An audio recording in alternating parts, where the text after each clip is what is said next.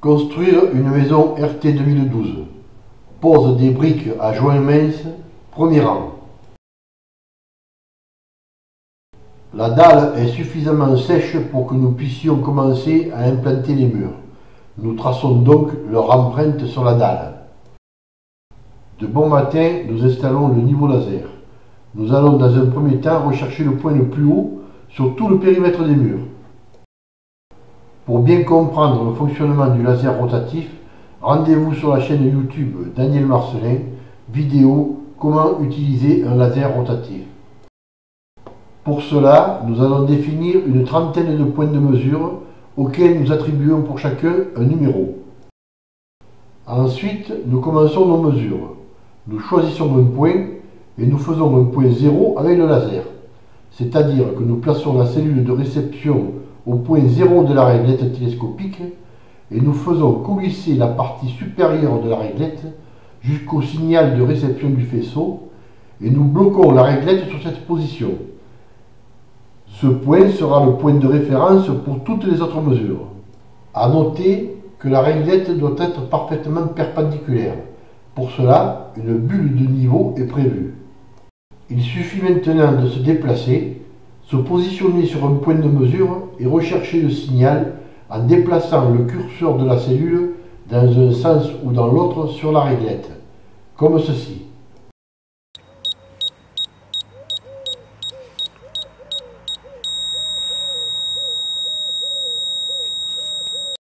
Cette mesure, par exemple, nous indique que ce point est plus bas de 23 mm par rapport au point de référence.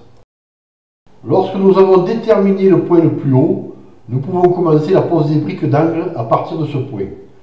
Nous les posons sur un lit de mortier bâtard, de niveau dans tous les sens et à la hauteur voulue grâce au niveau laser, en procédant de la même manière, réglette posée sur la brique.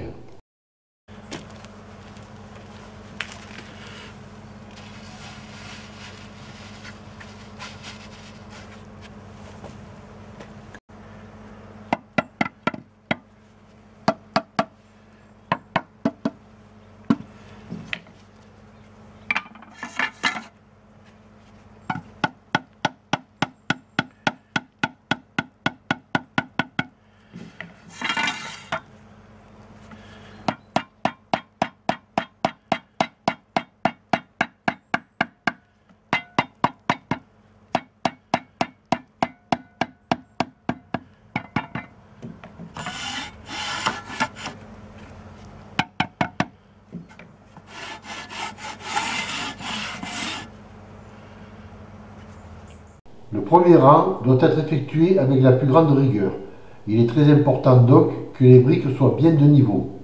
Dans le sens transversal, ce qui lui assure l'aplomb, et dans le sens longitudinal, la mise de niveau. Les coupes des briques se font aisément grâce à la scie alligator.